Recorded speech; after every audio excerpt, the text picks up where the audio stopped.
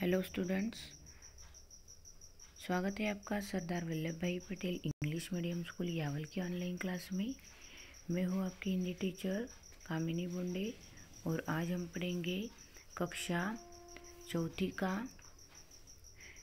ग्यारह नंबर का लेसन हमारा कैलेंडर ओके सबसे पहले हम इस पाठ को पढ़ेंगे।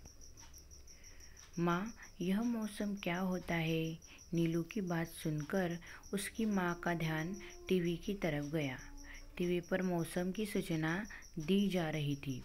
नीलू की जानने की इच्छा देखकर नीलू की माँ बोली, नीलू, तुम्हें मालूम है, एक वर्ष में बारह महीने होते हैं और उन बारह महीनों के तीन सौ पैंसठ दिन होते हैं।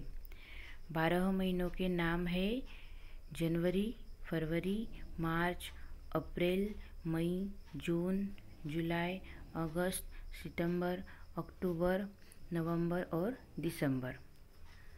देखो, नीलू। नीलू बोल रहा है अपनी माँ को कि देखो, माँ, यह मौसम क्या होता है? अभी वो टीवी पर, हमें पिक्चर में दिख रहा है कि वो टीवी पर मौसम के बारे में देख रहा है। तो माँ को वो पूछता है कि मैं माँ, ये मौसम क्या होता है? तो नीलू की माँ उसको क्या बताती है?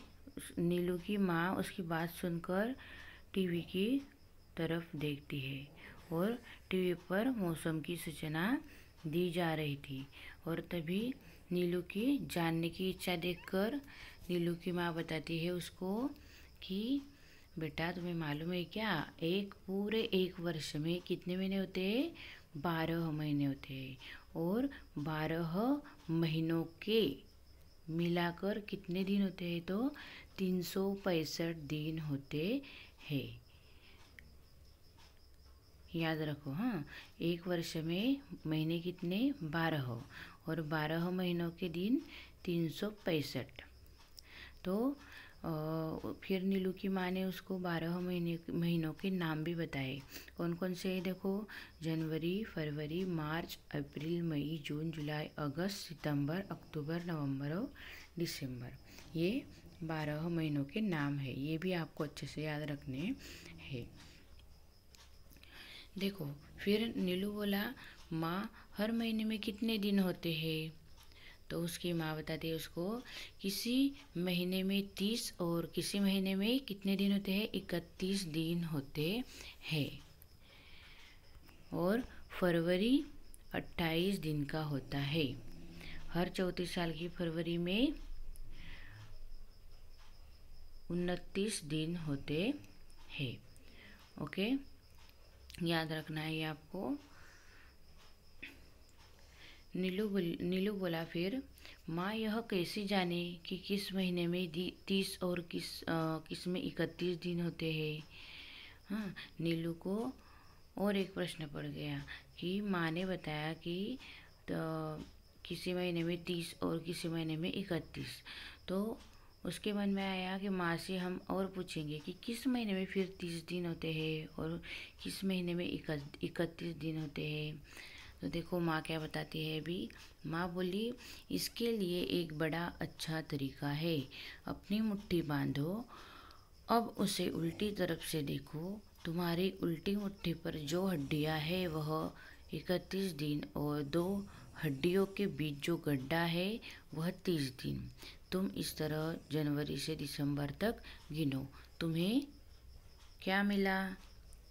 देखो, माँ ने इस चित्र में देखो माँ ने अपनी मुट्ठी को बाँध लिया है हाँ और उसे उल्टी तरफ़ से देख रहे हैं ओके?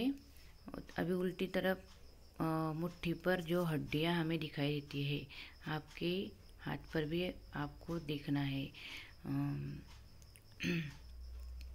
तो उन हड्डियों में इकतीस दिन दो हड्डियों के बीच जो गड्ढा है वह तीस दिन का होता है। और तुम इस तरह जनवरी से दिसंबर तक गिनना है आपको, ओके? तो तुम्हें क्या मिला? ये अच्छी तरह से आपको देखना है, ओके?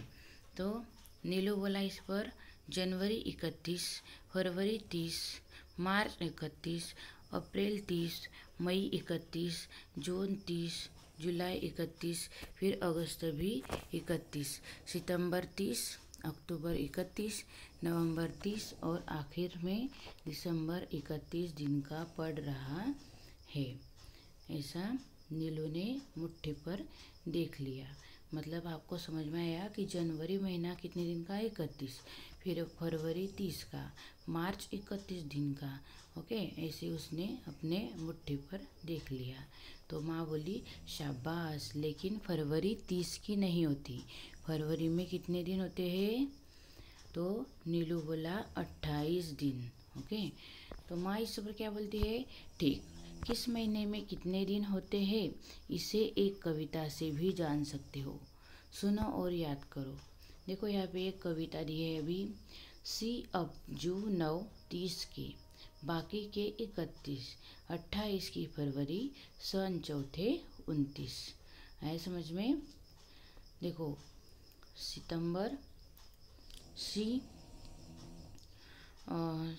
सी, अब, जो, नौ, ये महीने कितने, तीस के ओके, और बाकी के सभी इकतीस, और अट्ठाईस की फरवरी सन, चौथे साल साल में उनतीस दिन फरवरी के, ओके ऐसे माँ ने उसे एक कविता में गाकर दिखाया।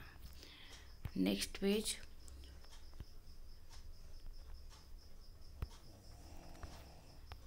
सी मतलब क्या? सितंबर। अप यानी अप्रैल। जू यानी जून। नौ यानी नवंबर।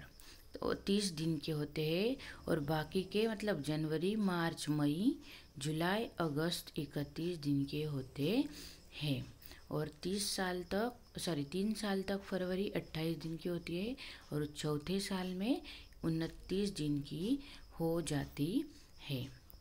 है आपको भी समझ में? तो इस पर नीलू क्या बोलता है कि चौथे साल में यह उनतीस की होती होगी, यह कैसे जाने? बराबर है। तो माँ क्या बोली, तुम्हारे टीचर ने टेबल सिखाया है। आपको भी सिखाया है कि नहीं? विश ने टेबल?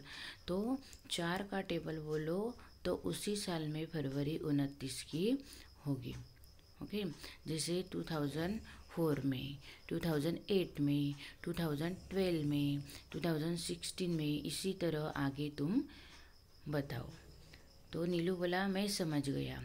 इसके बाद 2020, 2024, 2028, 2032, 2036 में फरवरी उनतीस की होगी। देखो, फिर इस पर मैं माँ बोलती है, अरे, बस बस, अब तुम्हें यह भी जान लेना चाहिए कि एक वर्ष में तीन मौसम होते हैं। देखो, याद रखो, एक वर्ष में तीन मौसम होते हैं। कौन कौन से होते हैं वो?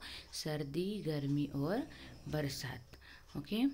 और हमारे हिंदी कैलेंडर में लिखे महीनों के नाम और छह ऋतुएँ मैं तुम्हें बाद में बताऊँगी।